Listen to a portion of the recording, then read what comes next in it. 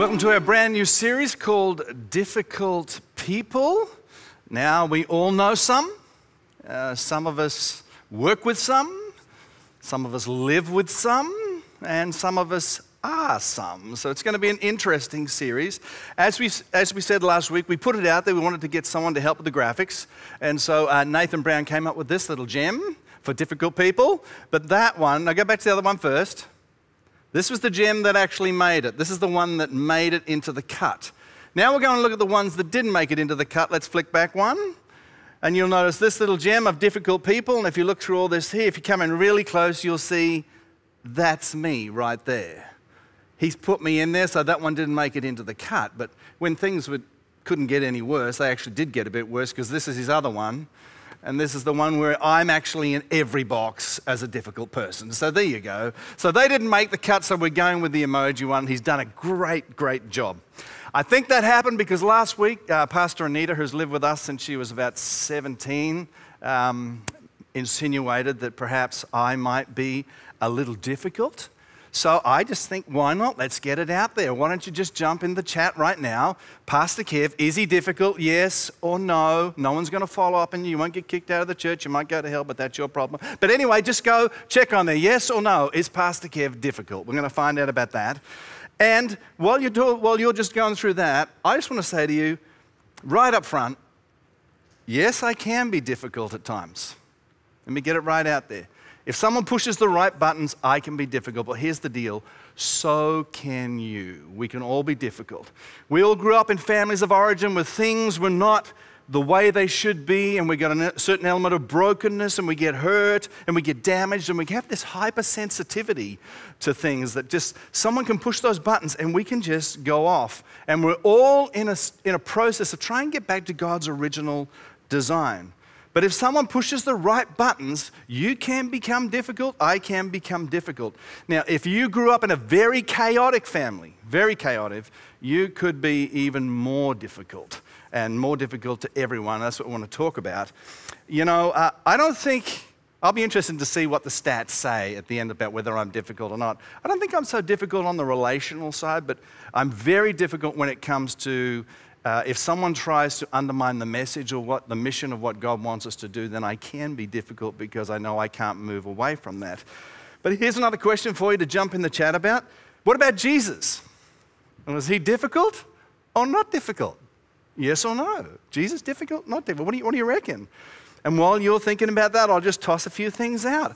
I mean, what about when he pulled this little party trick? He goes into the temple and they're all buying and selling, they're doing all sorts of stuff. And so he goes away and he makes a whip of cords. He comes back and gets the whip, drives everyone out, throws over the tables, and he messes the whole place up. And then he says, My father's house should be a house of prayer. You've made it a den of thieves. Man, that's just difficult. Man, the temple was a very profitable enterprise in their days, and he's just difficult. And what about when he tossed out this gem? What about this gem? Whoever eats my flesh and drinks my blood remains in me, and I in them. Unfollow. That's what happened. A whole bunch decided to unfollow. That was just way too difficult. What about when he walks up and he goes, you know, I am the way, I am the truth, I am the life. Nobody comes to the Father but through me. Now, we listen to that in, our 21st century. Ah, oh, no big deal. You know what they heard in that? They heard Jesus walking out, pulling out two six shooters and going, I got two guns, one for each you. And he's shooting all of the pagan gods because he's saying there's only one way. He said, There's only one way. That's just difficult. And he's always breaking the Sabbath. I mean, what, what, what's with the Sabbath? Why have you got to do that all the time? And, and then he says, Well, you know, I know you like Moses and I know you like the temple, but you know what? Someone and something greater than Moses in the temple is here. And by the way, it's me. It's just difficult. It's difficult. So sometimes difficult messages come that make life difficult as well. Now, what I'm going to share now is going to mess with all the people that like grammar. So if you're an English teacher and you like grammar, I just want to apologize because you're not going to like this, but the point is for you to not like it, it's for you to remember it. So here it is. Difficult is as difficult does when you do difficult things because difficult you is. You is difficult, and we need to figure out why is you difficult. So that's going to be the journey that we're on. But sometimes God will give us difficult messages. In order to change us, to shape us, to grow us, to lead us, to conform us to the image of Christ, to adjust us where things, to adjust us in areas where we're not thinking straight, we're a bit out of shape. And, uh, and so I want you to know that this whole concept of difficult is so big because not everybody that's difficult is of the devil. Now, I just want you to know that. They're not all of the devil. Sometimes, now, some of them are, and let's just read this portion of scripture from Matthew because this is where we get to see, once again, another difficult difficult portion of scripture for those of us that maybe have certain theological positions, particularly around end times. Jesus is talking around the kingdom. He says, The field is the world, and the good seed stands for the people of the kingdom. The weeds are the people of the evil one. Keep going and the enemy who sows them is the devil.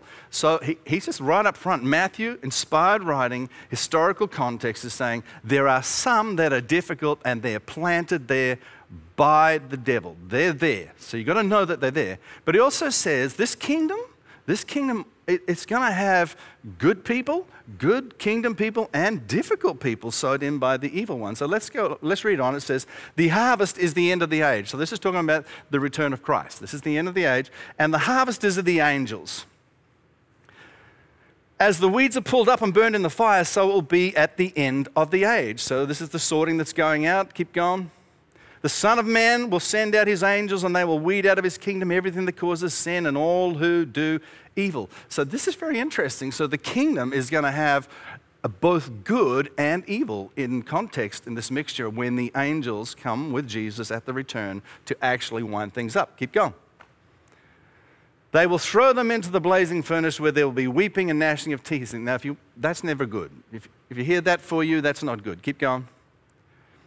The righteous will then shine like the sun in the kingdom of their Father. That's a really difficult portion of Scripture because it tells us there are certain difficult people that are actually planted in around the kingdom by the enemy in order to distract you away from God's best for you.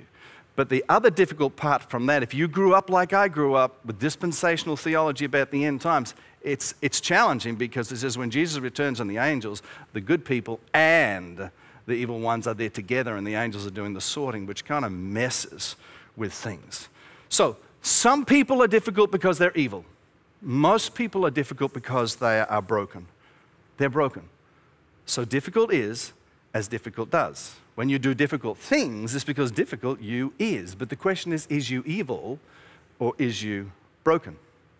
I don't know about you, but I think life's difficult enough. And you're like, I like what Jesus had to say. Wherever possible, live at peace with all people, wherever possible, let's just live at peace. You know, it's so difficult. The season that we're in, man, you've got COVID restrictions, you've got social distancing, erasing of statues and injustices, and, and doomsday preppers in the end of the world, they're all coming out. And, and so people are so wound up about this because they've been isolated that it's like every time you, you can, someone, you can see them coming, you can see a big EGR on their head, and you know this is going to mean extra grace required. And they're there because they're worked up.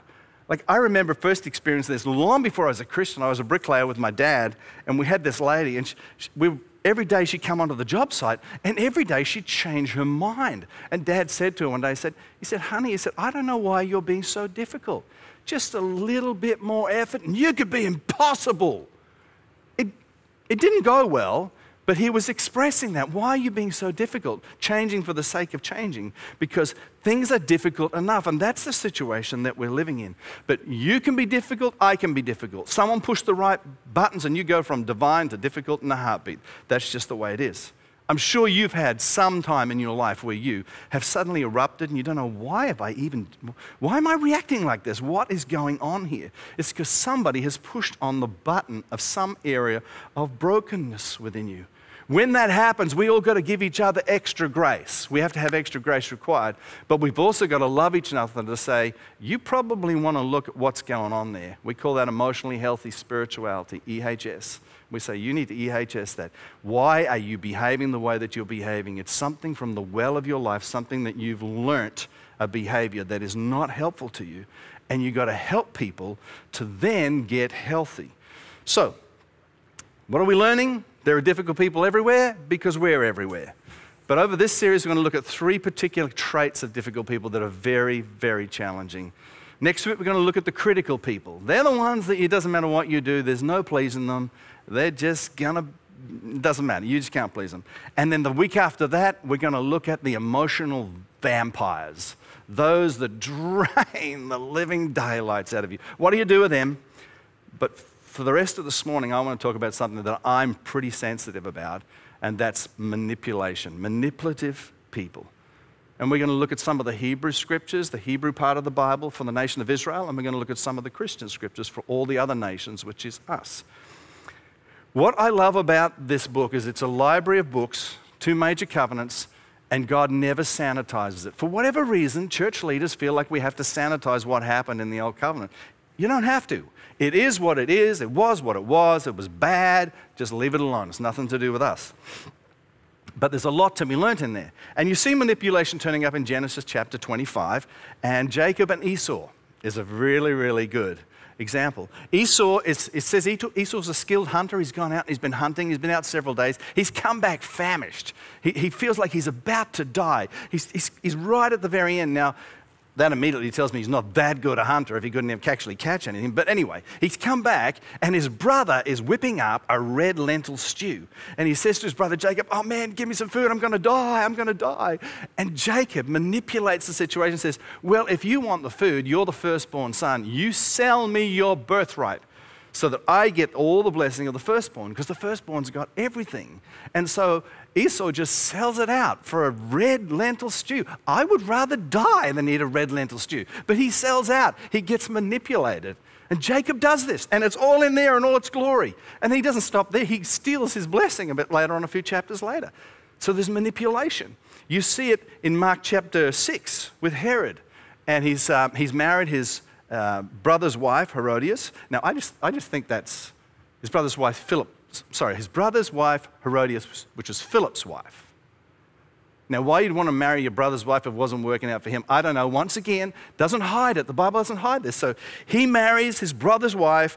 John says, This is not good. You can't do that. So he puts John in prison, and he's kind of a bit scared of John because he's the man of God. And um, anyway, he puts on this big banquet and he's got all these people coming in, and there's drinking, and there's wine, and they're having fun, and it's all exciting.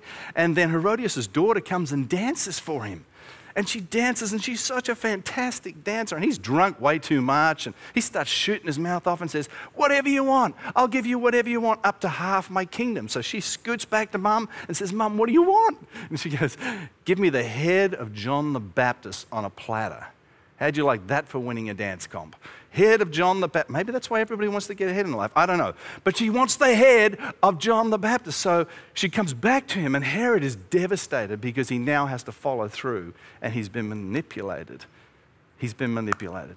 And then, of course, another big famous one is in Judges chapter 16, where that's the story of Samson, who was one of the strongest men that ever lived. He was so, so strong and they couldn't, the Philistines couldn't figure out how to get, where is this supernatural strength coming from? Anyway, he takes up with this girl called Delilah, and she wants to know what's going on. And she tries to badger him, and she says, he tells her all sorts of things about what it is, and he won't actually tell her. But in the end, look at what happens. In this verse here, he says, In the end, she said to him, How can you say I love you when you won't confide in me? With such nagging, she prodded him day after day until he was tired to death. Some versions say, uh, what are they? there's a version that says, um, can't stand it any longer, vexed his soul unto death. It's like, she just nagged him and she just nagged him and she manipulated him and she kept going after him and she kept, and eventually he wore down and he told her what would take place.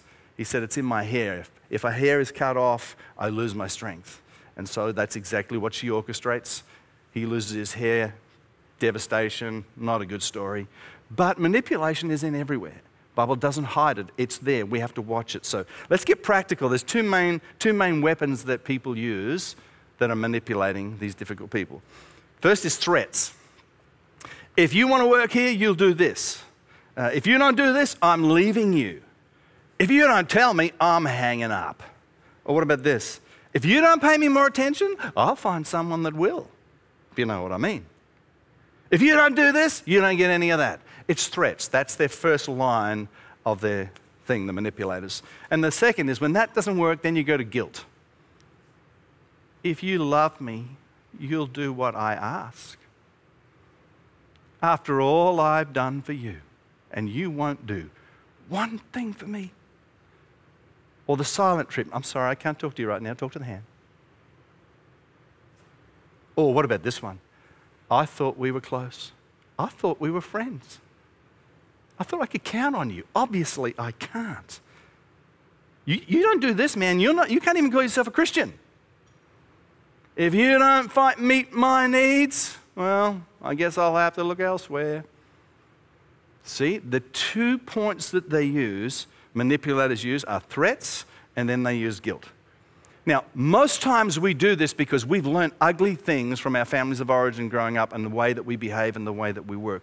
But some are actually evil. Some are there to distract you away from what God is trying to do. So you are going to figure out which one they are. Now, what I would re- I really wished you were all here now because I'd just say, let's have a show of hands. Uh, right now, if you know somebody is trying to manipulate you, and I think that would have been just awesome. But think about it. Is there someone in your world that's trying to manipulate you? I do want to make a statement about manipulation because it's, it's one of those words that I can't say what's happened to it, but it's been severely damaged. Not all manipulation is bad. God is sovereign. He's sovereign over everything. He's got a sovereign work that's going on. He's had to deal with the mess that humanity made. He's dealt with the mess that's taking place, um, that the devil is doing out there through his evil ones. But he's continually manipulating behind the scenes to get us to the correct place. And oftentimes, he's even working behind the scenes of our lives, manipulating us to protect us from ourselves at different times. So, not all times in this world is it, it, is it wrong. Like, I go to the chiropractor every week. I got a great chiropractor, and he, my back just gets in real mess. It gets bent out of shape, and I can't function. And he goes in and he adjusts, and he says, I'm going to manipulate your spine to make things straight.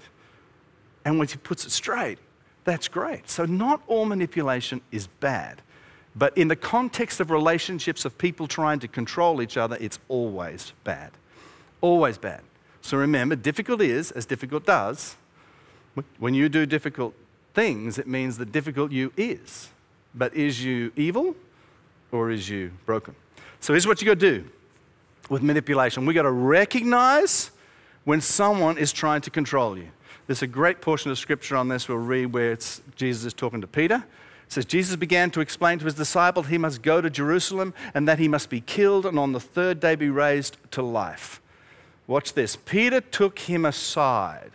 This is a classic thing of people that are manipulating. They won't go into small groups, they won't be involved in villages, they lose their power there. Peter begins to take him aside. It's a one on one control thing. And he begins to rebuke him. This is never going to go good when you're taking aside the Son of God and rebuking him and what's going on. Never, Lord, he said, this shall never happen to you. Now, what's going on there? Is Peter, is Peter evil? Is he evil? Or is he concerned? What is actually going on? The real thing is that God has a plan for Jesus but so does Peter have a plan for Jesus. And so Peter is trying to manipulate Jesus to fulfill what's on his mind. And Pete's plan goes something like this We got a great band together here, Jesus. We got some really neat stuff going on. I think we should take this on tour. I've got caps and t shirts coming, so we're going to start soon, and you going away is going to interfere with my plan. But there is another plan being orchestrated in the back that Peter doesn't know about. So got to be careful. When it comes, you've got to be able to recognize manipulation when people want to pull you aside and want to just instruct you for themselves. So here are, here are four things that will help you know if you're being manipulated. And I tried these on my uh, staff to see how it went. You can't say no to a certain person. You just can't say no. I tried it. I tried to get a few of the staff to get to do things that I wanted them to do, which I knew they didn't want to do. They all said no. So that's good for them and I still don't get the stuff done. So, but you can't say no if you're being manipulated by someone. You always feel guilty. They always want to pull you aside exclusive, and they always got this kind of like um, unhealthy loyalty. And this starts very young. Uh, Dexter came home. Dexter's a little six year old, and um, is he six? I don't know what he is, six, somewhere in there. Anyway, he comes home from kindy and he's got it happening at kindy. Oh, well, I've got to be this one's best friend. And if you're going to be my best friend, you can't be someone else's best friend because you're my best friend. And please don't talk to that one because that's their best friend. But you're going to be my, you're my best friend, aren't you, Dexter? And it was winding him up. It was really upsetting him. So I don't know, maybe it was one of those words from God. I said, Dexter, I want you to repeat this after me. I am Dexter Cruz Rosso. And he repeats it. And I said, and I am everybody's best friend. I said, That's what I want you to memorize. And he started using that, and the whole thing shifted. And then I taught it to Indy. People that want to manipulate you want to pull you away and make you feel guilty about things if you go somewhere else. So you've got to watch this. You also, ultimately, you feel responsible. You feel this fear of letting people down if someone is trying to manipulate you, and you will compromise your values. Sometimes you will do things that you know you should never do, but you will because you feel like you cannot say no. So, what you need once you recognize this is to follow Jesus' model of 100% grace, because you've got to offer grace, extra grace required, but then 100% truth, which means you've got to do something about this, and it's probably not going to be very comfortable to start with. So, you recognize that this is what's going on. I am being manipulated. Then you just say these words. This is not going to work on me. This is not going to work on me. And then you could follow Jesus' approach if you want to. Let's read that. This is what Jesus did with Peter. Jesus turned and said to Peter, Get behind me, Satan. Now, I, I would just err on caution here. While you're still trying to figure out whether this one is difficult because this one is evil or whether this one is broken, I would maybe drop the Satan part out at the moment, just leave it because it's hard to get back from that once you've called someone Satan. But he says, Get behind me, Satan. You're a stumbling block to me. You do not have in mind the things of God, but the things of men. So Pete's got this highly humanitarian thing rising up that's violating what God is actually calling him to do. So you've got to be able to say to the person, This is not going to work on me. I'm sorry, it's not going to work. That's challenging, but you've got to be able to step. That's the 100% truth along the 100% grace. And the reason you've got to do that is because every adult, I'm not talking about kids, kids need some control, but once you're an adult, you must make sure that no human being is controlling your life. That is resolved for God which means that your, your spouse shouldn't control you, your parents shouldn't control you, your neighbor shouldn't control you, your boss shouldn't control you. You need to be controlled by God. And there it is. If someone else has control, if someone else has control, they're manipulating you. You are committing the sin of adultery, not them. Idolatry which means that you're making an idol, you're looking to that person to meet your needs, you're looking to that person to trust. So, this is really important. So, you've got to recognize it if you're being manipulated. Then, you've got to have the difficult 100% truth this is not going to work on me. And then you'll realize that the relationship is not really working so well anymore. And that's because up until now you've been compliant and you've been dancing the same dance with them, bit of ballroom dancing, you know. But then suddenly when you say this is no longer going to work, the relationship is going to get awkward because you're going to flip to a cha cha while they're doing a waltz, and this is just going to end up ugly, and you're going to butt heads, and it's going to be awkward. But you then have to redefine the relationship. You've got to redefine the relationship. Jesus allowed Peter to fail.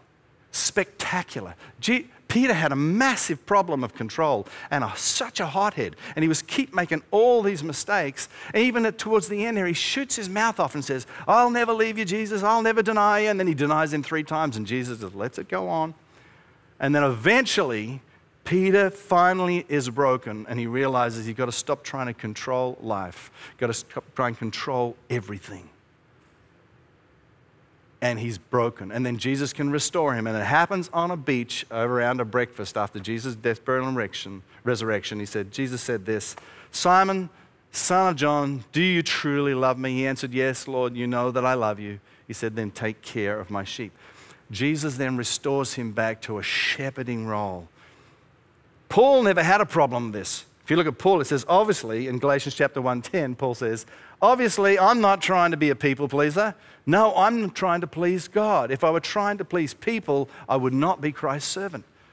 Paul never had this problem, but Peter had this issue of control, he had this issue of manipulation, and he had to get to the end of himself.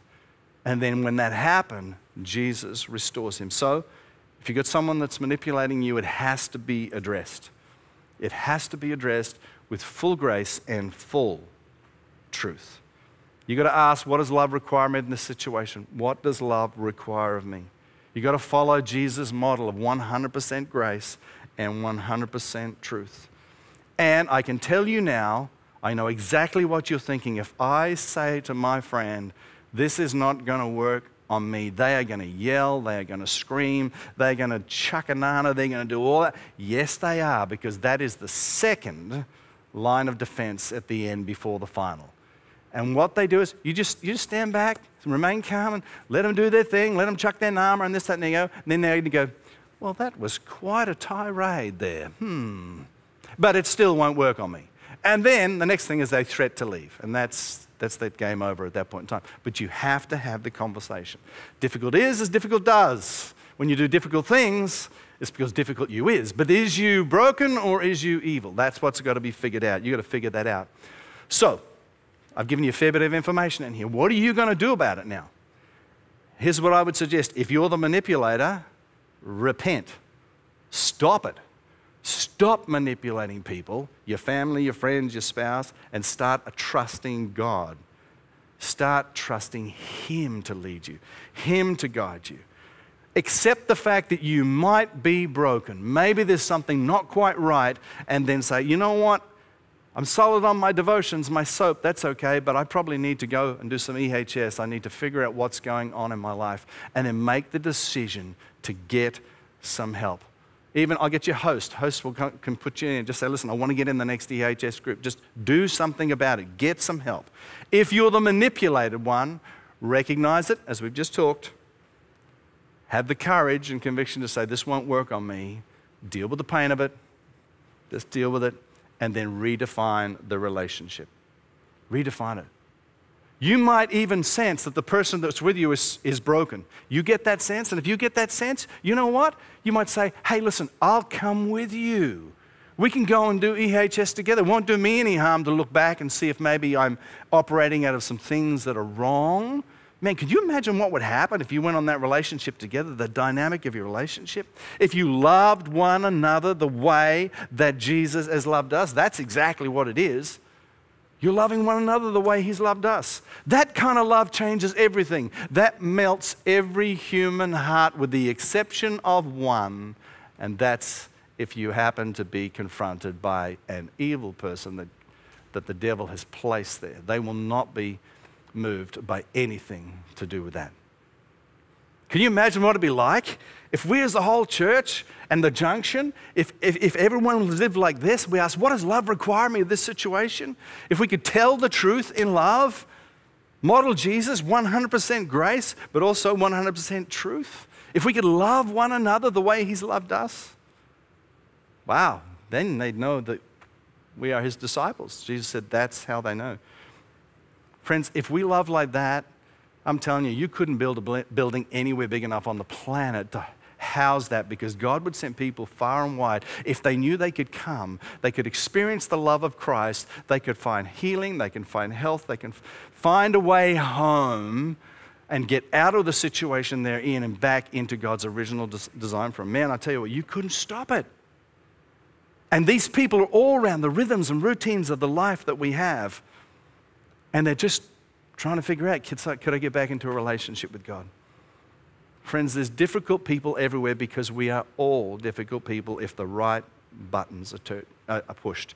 Some of us are on our journey and we've been conformed to the image of Christ. Some of us are yet to start, but we're sure hoping that someone will extend us some grace and some love that when we're confronted with something, that they'll love us back to health Help us deal with forgiveness. Help us realize that life is forgiving, not just forgiving as in giving money, but forgiving. Forgiving each other so another human being could actually say, you know what, I am broken.